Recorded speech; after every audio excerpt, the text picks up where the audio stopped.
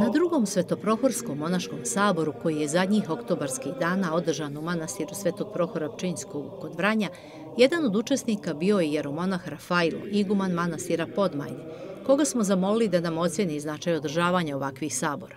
Zahvaljujući strpljenju i očinskoj ljubavi oca Rafaila, dobili smo i odgovore na neka pitanja o značaju molitve, kako se moliti, potrebi svakodnevnog čoveka za duhovnim vođenjem, kako da se popravljamo i da budemo bolji. Liturgijska zajednica date, koje mi pripadamo treba da bude i naše duhovno utočište. Molitva kao jedno stanje koje čovjeka sjedinjuje sa Bogom, koja dovodi do najvećeg čuda a to je oboženje u kome se srce čovječije sjedinjuje sa, sa samim Bogom, ili ako hoćete, e, tajna u kojoj se Bog otkriva ljudskom srcu. Kad i kad Bog dopušti znate, da u porodici bude nekakvih potresa, lomova, znate, vrlo je moguće da je u pitanju eh, neka Božja intervencija znate, koja će dati više prostori mogućnosti da se i djeca i roditelji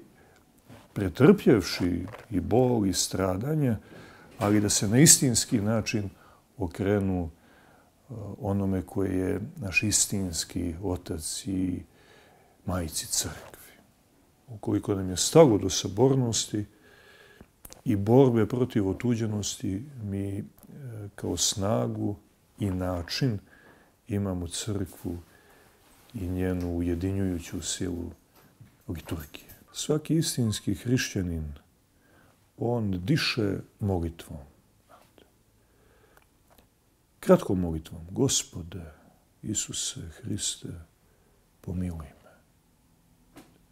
Gospode, Isuse, Hriste, pomiluj me.